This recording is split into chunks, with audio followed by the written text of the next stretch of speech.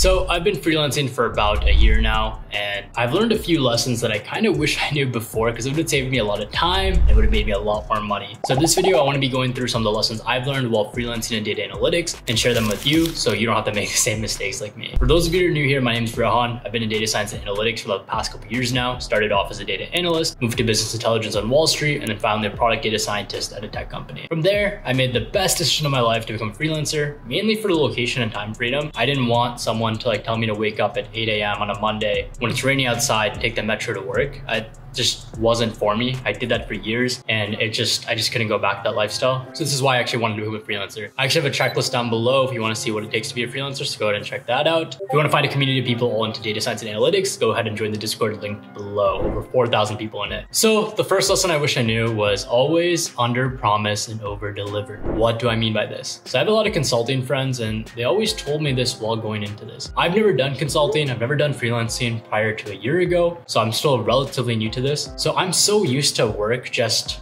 promising as much as I can do, working as hard as I can, and your boss knows you and treats you like a human, hopefully if at the right firm. And I never really had an issue. They always used to give me appropriate breaks in between projects, and it was pretty chill. Freelancing and contracting, consulting, whatever, is a completely different ballgame they will try to lowball you as much as they possibly can in terms of pay and expect the absolute most out of it because capitalism, right? I mean, think about it from their perspective, it makes sense, right? They have a tight budget and they want to get an X amount of work done, so they're going to use you as much as possible. In addition to this, the turnover rate for a bunch of contractors and freelancers is very high. So for them, they're like, oh, this person's going to leave in a couple months anyways. Why do we want to make them happy? But if it's like a boss at a nine to five at a company, they're like, I want you to stay for a leadership role, so I'm going to treat you with respect. So you just don't get that. At the end of the day, you're just a glorified service provider you're not treated like an employee if you were just working a nine to five. So an example is if you think taking that dashboard is gonna take you a month, tell them it'll take two months and take your time.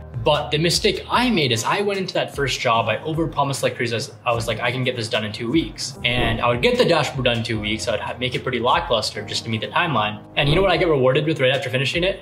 Another project and I had to maintain those same timeline expectations. So you can see how this kind of snowballs into just burnout very, very quickly. So you have to be very careful with managing your expectations beforehand. Okay, the next thing I wish I knew is always communicate properly. Look, I don't know how you're gonna communicate with your clients. I prefer to communicate with my clients on Slack or maybe even email, but you always wanna have that open line of communication where you're giving them status reports every single week. So let's say for the last part, we're talking about the dashboard and a month is about to come by and you promise them a month and they reach out to you and they're like, where is it? But in your defense, you didn't have the data and they didn't provide it for you. So this could have been fixed with just communication, letting them know you don't have the data. And it sounds simple in theory, but generally the more you're able to communicate, the better experience you're gonna have with your clients. And I know this because I even hire different contractors like marketing agencies of my own for my companies. And the number one thing I look for is communication. Provide me a detailed report of what you did last week, what you're gonna do this week, and I'll be happy and I'll leave you alone. So we don't have to waste time on meetings. So I try to carry this forward with my clients in my consulting agency, and I recommend you guys do the same as well. Communicate as much as possible. The next principle I learned is cost will always be more than you expect. So I recently started traveling. I have location freedom now. And one of the things I've learned is that you need to budget more than you possibly think you need. This could be either an unexpected software expense. This could be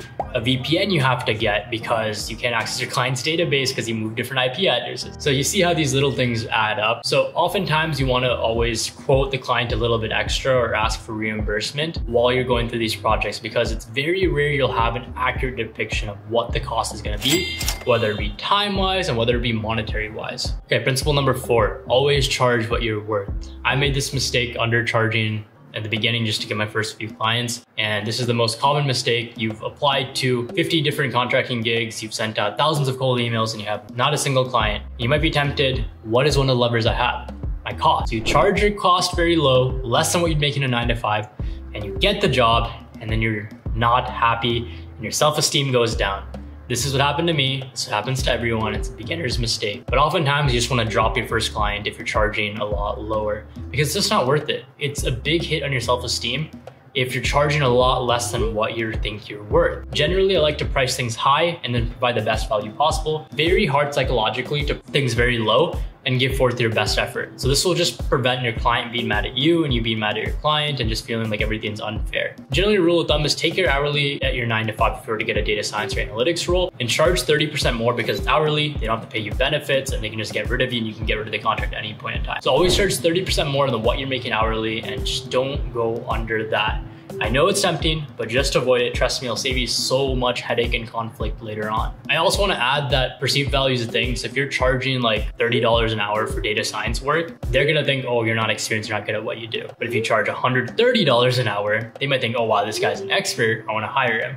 Obviously, there, there's some like anomaly cases, but generally perceived value is a thing. So you want to price yourself accordingly. Okay, so the next step I learned is have an airtight contract and be very clear on what the services are gonna provide and what they need to pay extra for if they want it. So let's say you're only providing BI solutions, whether this be dashboarding or reporting. And one day they're like, hey, I want this machine learning model done for this other stakeholder that we have. And you might just be like, oh, they already paid me retainer, I can easily do this. But do not do this. Make sure to be very clear. If your $5,000 retainer covers two dashboards in that month and they ask for something extra, make sure they pay you for it. And make sure you set this very clear in the contract. And if they ever try to go back on it, you can just bring the contract up and you can terminate it if you need to. Listen, clients sometimes aren't your friends. It's amazing when they are, but you cannot treat them like your friends. They're your clients. Especially in consulting, they will try to take the most out of you and pay you the least. Funny enough, this is kind of just a random observation I've had. The clients that pay you more oftentimes expect less and are less demanding as managers. Remember, you're doing freelancing so you don't have to have a boss. So you shouldn't treat your client like a boss. You can fire your client just as much as they can fire you and you can get a new client. So don't treat it like a job. Don't think that they are your boss and have autonomy over your life and your business.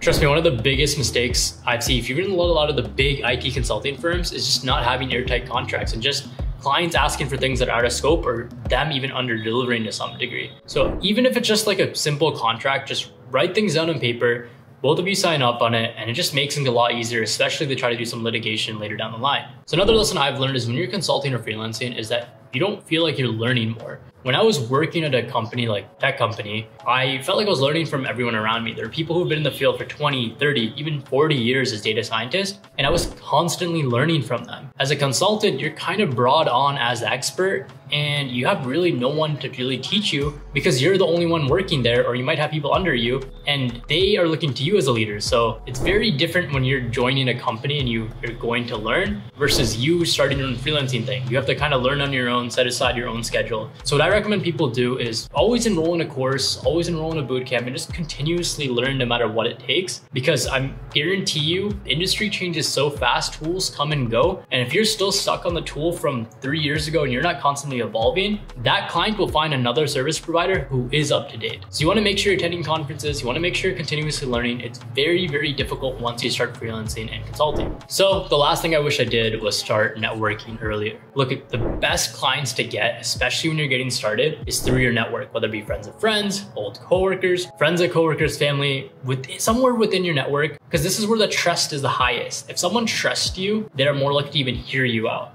You can send out a thousand cold emails and maybe hear back by 10 of them, but just a waste of energy. Why not go to someone you already know who can help you out? So a good example is this someone in my bootcamp, my data analytics bootcamp, it was a server. And he ended up actually signing that restaurant that he worked at as a client for a data science consulting firm.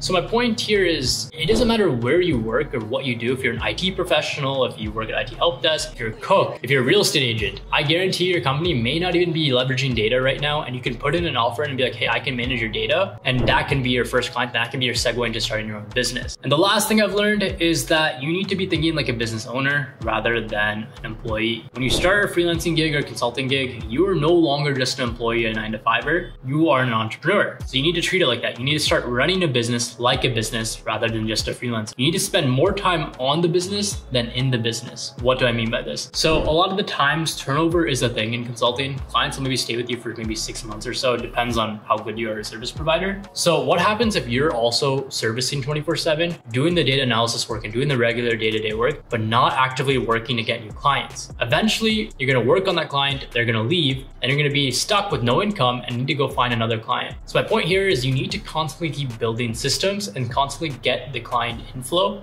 while you're also servicing them. So a good way to do this is start hiring people as soon as you get your first clients. I know it sucks, it's gonna eat into your margins, but if you really want to scale, and you really want to take this seriously, I recommend start hiring immediately. But anyways, if you got any value in this video, please leave a like, subscribe, and I'll see you in the next one.